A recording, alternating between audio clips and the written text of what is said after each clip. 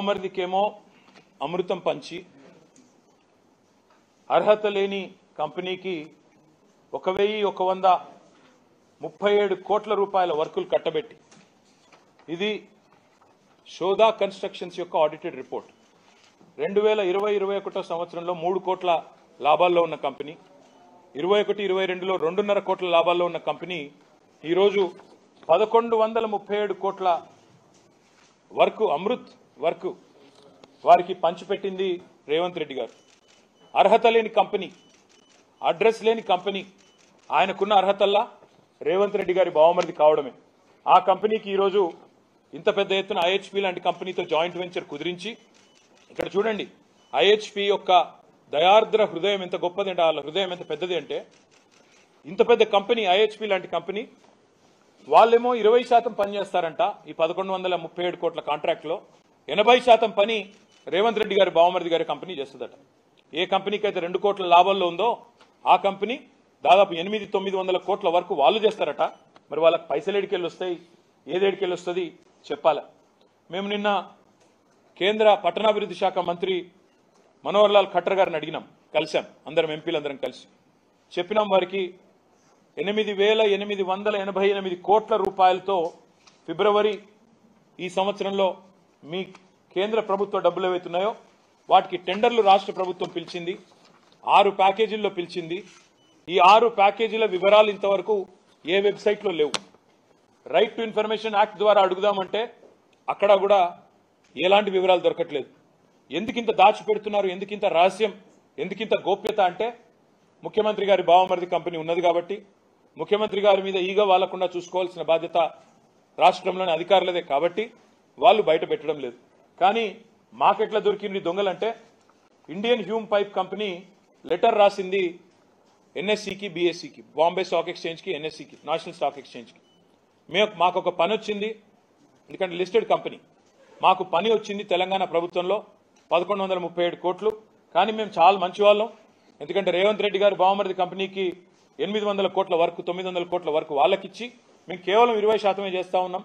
మేము వాళ్ళకంటే వెయ్యి రెట్లు ఎక్కువ పెద్ద కంపెనీ అయినా మేము మా గుండె కూడా పెద్దది కాబట్టి మేము రేవంత్ రెడ్డి గారి బావమరిది మీద ప్రేమతో మేము ఈ రకంగా తప్పుకున్నామని వారు చెప్తా ఉన్నారు. నేను ఒక్క మాట అంటా ఉన్నా రేవంత్ రెడ్డి ప్రభుత్వాన్ని అదేవిధంగా కాంగ్రెస్ ప్రభుత్వాన్ని. రేవంత్ రెడ్డి గారు మీ బావమరిది గారికేమో అమృతం పంచి వాళ్ళ కొడంగల్ వాసులకు విషం పంచుతా ఉన్నాం ఫార్మా పేరిట. ఇది ప్రజలందరూ చూస్తూ ఉన్నారు. నిన్న జరిగిన సంఘటన ప్రజల తిరుగుబాటు ఏదైతే కొడంగల్లో ప్రారంభమైందో మీ బావమరిదికేమో ఇక్కడ అమృతు మీ అల్లుడు గారి ఫార్మా కంపెనీకేమో కొడంగల్లో భూములు గుంజుకోవాలా? దానికి మీ తిరుపతి రెడ్డి గారి దాదాగిరి. అల్లుడు కోసం ఈరోజు కొడంగల్ని బలిపెట్టే పరిస్థితి ఈరోజు కనబడతా ఉంది. అందుకే ప్రజల తిరుగుబాటు కూడా అక్కడ మొదలైంది. ఇంకా విచిత్రం ఏమంటే రుణమాఫీకి డబ్బులు లేవు. రైతు బంధుకు లేవు డబ్బులు. ఎగ్గొట్టినారు ఆల్రెడీ వానాకాలం. పింఛన్ల పెంపు కోసం డబ్బులు లేవు. తులం బంగారం ఇవ్వడానికి డబ్బులు లేవు. మహిళలకి రెండు వేల ఐదు వందల రూపాయలు ఇచ్చేదానికి లేవు డబ్బులు. కానీ చాలా విచిత్రం. మహారాష్ట్ర ఎన్నికల్లో సిగ్గు లేకుండా మూడు వందల కోట్లతో అడ్వర్టైజ్మెంట్లు ఇవ్వడానికి మాత్రం డబ్బులు ఉన్నాయి మూడు వందల కోట్లని నేను ఊరికే ఆరోపించట్లేదు. మూడు వందల కోట్ల తెలంగాణ ప్రజల సొమ్ము నీ అబ్బ సొత్తు అన్నట్టు మీ రాహుల్ గాంధీ సొత్తు అన్నట్టు ఇవాళ చేయని పనులు చెప్పినట్టుగా దిక్కుమాలిన ప్రచారం. జో కామ్ కియాయినై తెలంగాణ మీ उसको लेके महाराष्ट्र में आज कैंपेन चल रही है। महाराष्ट्र में राहुल गांधी झूठ बोलते हैं। कहते हैं कि हम हर महिला को, हर महीना 2500 रुपीस हम डिपॉजिट करते हैं महालक्ष्मी स्कीम के अंदर। ये झूठ है, सरासर गलत है। मैं राहुल जी से सवाल करता हूँ, उनसे डिमांड करता हूँ, आप आइए तेलंगाना।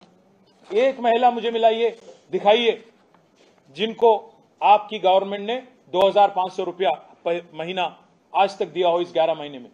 मैं पूछना चाहता हूं राहुल जी से आप जो यहां पे झूठ पे झूठ बोल के महाराष्ट्र में सियासी फायदे के लिए आप कोशिश कर रहे हो इसमें एक भी एक भी 300 करोड़ खर्च करके जो आप कैंपेन कर रहे हो तेलंगाना प्रजा प्रजा की धन के साथ इसमें एक भी अगर सच्चाई है क्या आप एक बार अपने आप से इंट्रोस्पेक्ट कर लेना मैं दूसरी बात भी करना चा- कहना चाहता हूं వీళ్ళు తెలంగాణలో కాంగ్రెస్ హైకమాండ్ మోడీ గారు అంటా ఉన్నారు ఏటీఎం అయిపోయింది తెలంగాణ ఎస్ రాహుల్ గాంధీ కాంగ్రెస్ పార్టీకి तेलंगाना हैज बिकम एटीएम मैं मोदी जी से पूछना चाहता हूं మోదీ గారిని అడుగుతా ఉన్నా మరి తెలంగాణ ఏటీఎం అయితే మీ ప్రభుత్వం ఏం చేస్తుంది మేము నిన్న నెల కిందట రాసినాం మీ కేంద్ర మంత్రి గారికి ఉత్తరం డీటెయిల్గా రాసినాం ఆఫీస్ ఆఫ్ ప్రాఫిట్ అంటే ఆఫీస్ ఆఫ్ ప్రాఫిట్ అంటే ఏంటంటే ఇప్పుడు నేను ఉన్నాను ప్రతిపక్షంలో ఉన్నాను రేపు నా కుటుంబ సభ్యులు ఎవరైనా కంపెనీ పెట్టారనుకోండి. ఒక ఇన్ఫ్రాస్ట్రక్చర్ కంపెనీ పెట్టారు. నాలుగేళ్ళ తర్వాత మా పార్టీ అధికారంలోకి వస్తుంది. వచ్చిన తర్వాత నేను క్యాబినెట్లో మంత్రిగా ఉన్నాను అనుకోండి మరి నేను క్యాబినెట్లో మంత్రిగా ఉండి నా బంధువులకు సంబంధించి నా కుటుంబ సభ్యులకు సంబంధించిన కంపెనీకి నేరుగా పదకొండు వందల కోట్ల వరకో వెయ్యి కోట్ల వరకో ఇస్తే అది కాన్ఫ్లిక్ట్ ఆఫ్ ఇంట్రెస్ట్ కాదా? అది తప్పు కాదా? ఈరోజు జరుగుతున్నది తెలంగాణలో అదే. పొంగులేటి శ్రీనివాసరెడ్డి గారు రేవంత్ రెడ్డి గారు ఇద్దరు కేబినెట్ సమావేశంలో కూర్చుంటారు.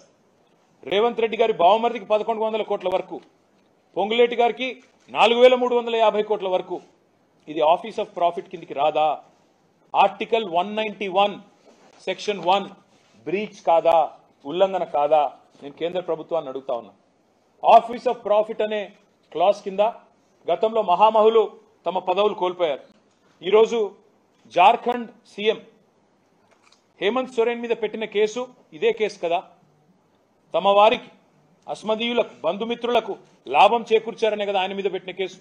మరి అదే కేసు ఇవాళ నేను అడుగుతున్నా బీజేపీ వాళ్ళని మీరు రేవంత్ రెడ్డి మీద పొంగులేటి శ్రీనివాస్ రెడ్డి మీద ఎందుకు పెట్టడం లేదు అని నేను అడుగుతా సమాధానం చెప్తారా? ఒకవైపు మీరే చెప్తారు తెలంగాణ ఏటీఎం అయింది. మరి తెలంగాణ ఏటీఎం అయితే కేంద్రం నిష్క్రియాపరంగా ఎందుకున్నది? ఎందుకు చర్యలు తీసుకోవడం లేదు? ఎందుకు మీరు వెంటనే ఎంక్వైరీ స్టార్ట్ చేయడం లేదని నేను అడుగుతా ఉన్నా. చివరిగా నేను గుర్తు చేసేది ఆఫీస్ ఆఫ్ ప్రాఫిట్ కింద చాలా మంది ఉద్యోగాలు పోయినాయి. సోనియా గాంధీ గారు పదవి వదులుకోవాల్సి వచ్చింది. అశోక్ చౌహాన్ గారు పదవి వదులుకోవాల్సి వచ్చింది. రేవంత్ రెడ్డి గారు కూడా పదవి వదులుకోక తప్పదు. పొంగులేటి శ్రీనివాస్ రెడ్డి కూడా పదవి పోక తప్పదు. ఎందుకంటే కౌన్సిల్లో కూర్చొని క్యాబినెట్లో కూర్చొని క్యాబినెట్ మీటింగ్లో కూర్చొని నువ్వే అప్రూవల్ చెప్పి తర్వాత నీ కంపెనీకి నువ్వే ఇచ్చుకుంటే అది డైరెక్ట్గా ఉల్లంఘన కాదా అని నేను అడుగుతా ఉన్నా. అందుకే నేను ఈ బడా కాంట్రాక్టర్లు నడుపుతున్న ఈ ప్రభుత్వం ఏదైతే ఉందో వారికి నేను ఒకటే చెప్తా ఉన్నా మీరు అడుగుతున్నారు నిన్న పొంగులేటి గారు. మీకేం పని ఢిల్లీలో అంటున్నాడు. అంటే ఢిల్లీకి వచ్చి ఇరవై ఆరు సార్లు ఇరవై ఆరు పైసలు దేని అసమర్థుల కంటే ప్రధాన ప్రతిపక్షంగా మేము ఢిల్లీకి వస్తాం. ఇక్కడ ఉన్న కేంద్ర ప్రభుత్వాన్ని ఇక్కడ ఉన్న కేంద్రంలోని అధికారుల్ని కేంద్రంలోని సంస్థల్ని ప్రెస్ని కలుస్తాం. దేశ ప్రజల దృష్టికి మీ మోసాన్ని తీసుకొస్తాం. మీకెందుకు భయమవుతుంది మేము ఢిల్లీకి వస్తే? మీకెందుకు ఇబ్బంది అవుతుందని నేను అడుగుతా ఉన్నా.